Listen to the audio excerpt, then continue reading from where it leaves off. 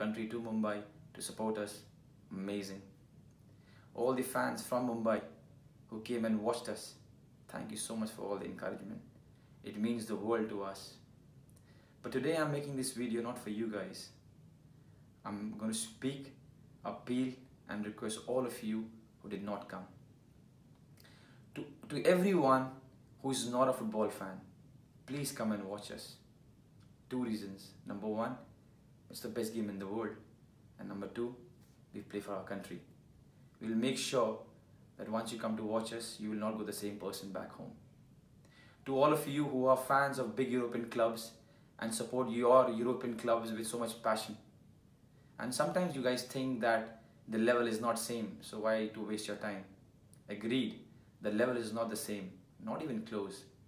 But with our desire and determination, we'll make sure, we'll try our best to make your time worth.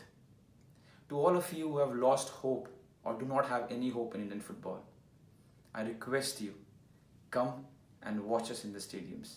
I mean, it's not fun to criticize or abuse on internet. Come to the stadium, do it on our face, scream at us, shout at us, abuse us. Who knows?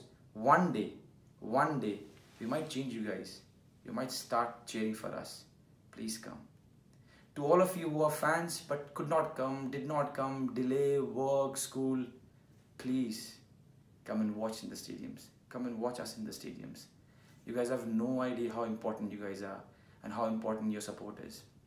So today I'm requesting you, all of you, 4th, 7th and hopefully 10th June we are playing in Mumbai. Please come and support us, encourage us, watch us, abuse us, criticize us, talk about the game, go back home, have discussions, make panels, but please get involved. This is a very, very important time and juncture in Indian football, and football in India needs you guys.